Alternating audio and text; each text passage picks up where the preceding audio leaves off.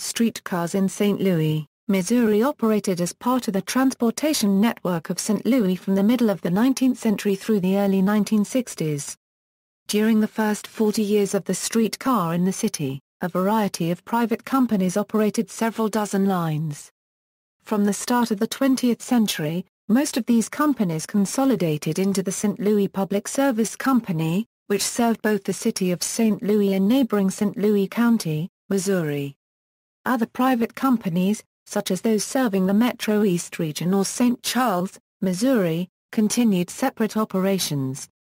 Starting in the 1930s and continuing through the 1960s, St. Louis Public Service ended all streetcar service, while other regional operators also ended their services. Historical streetcar service equals early public transit equals, by the 1830s, the city of St. Louis had grown in size beyond the ability of many of its residents to walk conveniently throughout the town. In 1838, brief mention is made in historical records of a private horse-drawn cab service in the city, followed in 1843 by the beginning of an omnibus service by entrepreneur Erastus Wells in partnership with an investor named Calvin Case. During the late 1840s, other horse-drawn omnibus service companies began operation, but by the end of 1850, most of these companies had consolidated with the Case and Wells lines to form Case and Company, which operated 90 carriages and several lines in the city. In 1855, principal investor Case was killed in the Gasconade Bridge train disaster, and the company was divided among its other investors. The resulting horse-drawn tram lines became the blueprint for street railway service in the late 1850s equals initial street railways equals. In December 1855, a group of investors formed the Laclede Railway Company for the purpose of building a street railway, modeled on services then provided in eastern cities such as New York City, Philadelphia, and Boston. However, the Laclede line was never built. In spite of the early failure, by 1859, seven other lines were proposed. However, only four were completed before the outbreak of the American Civil War. The first of these lines began operation on July 4, 1859, running east to west on Olive Street from 4th to 10th Streets. However, early operations were marred by difficulty in securing quality rails, and construction problems caused derailments of the cars. All of the pre-war railways used horsepower to pull their cars, that is they were horse cars. After the Civil War, other lines opened in St. Louis that connected the central city with western areas. In 1874, with the opening of the Eads Bridge, a new line opened connecting the city with East St. Louis, Illinois. The first experiments with mechanical traction for the cars took place immediately after the war in 1865 on Grand Avenue, while a fully operational steam-powered line opened in 1868 as an extension of the Olive Street line. This line, however, was not operationally connected with the rest of the horse-drawn lines, and it used a different track gauge than other lines. Equals decline equals, in the 1920s streetcars began to be replaced by motor buses as bus operators could route freely over public streets, paying only vehicle and gas taxes, while streetcar operators had fixed routes by the tracks, and had to pay additional property taxes for the infrastructure they placed in the road, however a good transit route doesn't need to change often. The construction of Highway I-70 that cut through downtown St. Louis, threatened and ended service to many street lines. The last St. Louis streetcar route in operation was the 15 Hodiamont line which ceased service on May 21, 1966.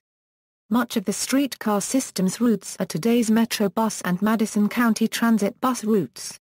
St. Louis was also involved in the Great American Streetcar Scandal.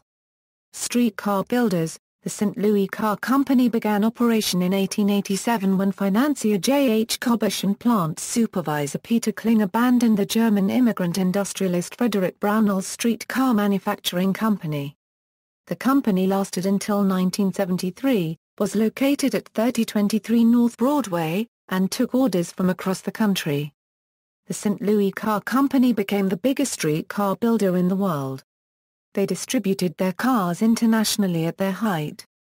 Equals historical lines or companies equals, Baden and St. Louis Railroad, Benton and Bellefontaine Railroad, Citizens Railway, Cass Avenue and Fairgrounds Railroad, Forest Park and Clayton Railroad, Lindell Railroad, Midland Street Railway, Missouri Railroad, Northern Central Railroad, People's Railway Company Street Louis and Kirkwood Railway St. Louis and Suburban Railway Street Louis Railroad Street Louis, St. Charles and Western Railway Street Louis Public Service Company, Southern Electric Railway, Tower Grove and Lafayette Railway Company, Union Railroad, Union Depot Railroad, Belleville Electric Railway Company, East St. Louis and Suburban Railway Company, East St. Louis Railway Company, Illinois Traction Company, Alton, Jacksonville, and Peoria Railway Company, East St. Louis, Columbia and Waterloo Railway Company. These cars serviced 70 Grand, 20 Cherokee,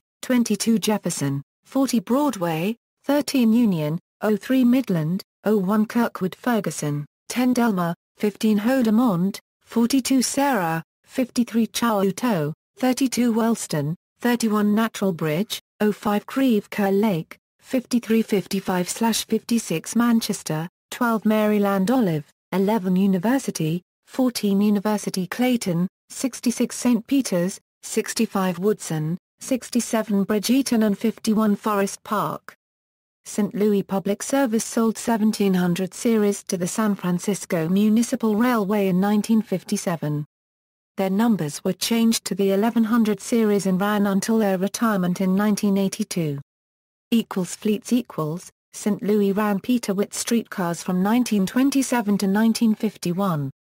All of St. Louis' three series of Peter Witt cars were built in the United Railways 39th Street shops. Later Art Deco PCC cars were first produced in 1936. They were 46 feet long and 9 feet wide. They sat 53 passengers. The St. Louis Car Company built many of these models. St. Louis Public Service Company ordered three groups of PCC cars in the 1500, 1600 and 1700 series from them. The first group was delivered in 1940. The last group was delivered in 1946. Revival There are three current projects for streetcars in St. Louis. Equals Delmar Loop Trolley equals the Delmar Loop Trolley is a 2.2-mile proposed heritage trolley line that is planned to serve the Delmar Loop District in St. Louis, Missouri and University City, Missouri. The line will have about 10 stations and serve a Missouri History Museum in Forest Park, Washington University in St. Louis, two Metrolink stations. Forest Park DeBaliviere Station and Delmar Loop Station, University City City Hall, and all the Delmar Loop attractions. Origin The Delmar Loop got its name from a loop of the track on the 10 Delmar Street car line, which ran its last trip on April 19, 1964. In the early 20th century, the loop was adjacent to the Delmar Gardens amusement park. Until its abandonment on July 25, 1950, the loop was also the terminus of the 05 Creve Coeur Lake line famous for its open moonlight cars. The loop long retained its name, and found a champion in Joe Edwards, the owner of Blueberry Hill, the pageant, and a number of other loop businesses. Edwards secured the purchase of two restored Peter Witt-type streetcars that once operated in Milan, Italy, and has led the initiative for a new line in conjunction with Citizens for Modern Transit. Fleet the two Peter Witt cars were refurbished by the Gomaco Trolley Company in 2005 and placed on long-term display along the Routier Euro 1 on Delmar by Commerce Bank, and the other at the History Museum. Not conforming to ADA regulations, the cars will remain parked until they can be modified. The loop trolley line is planned to be served initially by a fleet of three streetcars, Two Gomaco-built Brill replica streetcars which until 2014 were used on the Portland Vintage Trolley Service and one of the two red Peter Witt streetcars. The three cars are scheduled to be modified for wheelchair accessibility. Equals St. Charles City streetcar equals. The nine original 1700 series PCC streetcars were purchased for use in Newtown at St. Charles by Whitaker Builders Incorporated. Some will be placed around town converted into old-fashioned diners, cafe copyright S, or bookstores while others will be restored and put back in service. The proposed route is said to be 8 mile from Newtown to St. Charles, Missouri. Equals St. Louis streetcar equals. In June 2013 Forbes magazine profiled new streetcar systems of 10 USA cities that had built or were building new modern streetcar systems. According to Forbes St. Louis is planning to build a 7-mile modern system to connect downtown St. Louis to the central West End along with other neighborhoods like Downtown West, Midtown, and Carr Square. It does not connect to the Delmar Loop trolley. See also, List of streetcar systems in the United States, Streetcar strikes in the United States, Streetcars in North America. References. External links, Western Rail Images website, KETC Living Street Louis Streetcar Memories A short video about streetcars in St. Louis, with various 20th century footage assembled by local PBS station KETC.